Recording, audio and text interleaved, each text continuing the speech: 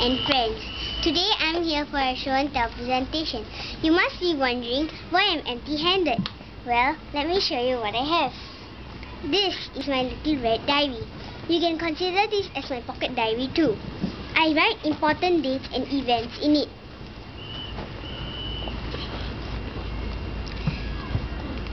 I flip through this diary every morning and see what's important for today. Last week was my father's birthday. I jotted it down in my diary and, it, and my mother managed, me and my mother managed to get a surprise present for my father. A few days back, my aunt delivered a baby boy.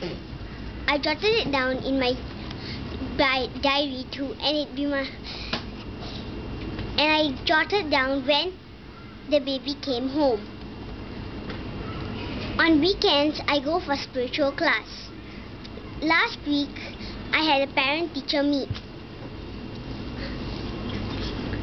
This diary helped me remind me and, and my mother to go to the parent teacher meet. My mother was able to go to the parent-teacher meet without fail.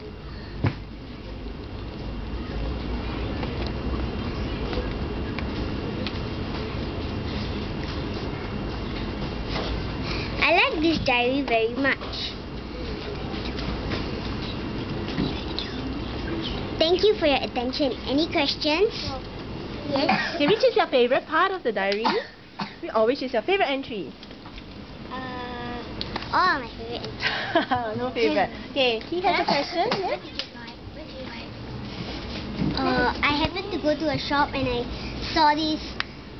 I pestered my mother to buy it. I was attracted by this color red, so I pestered my mother to buy it. So, uh, as my mother saw that it was only one dollar, she just bought it for me.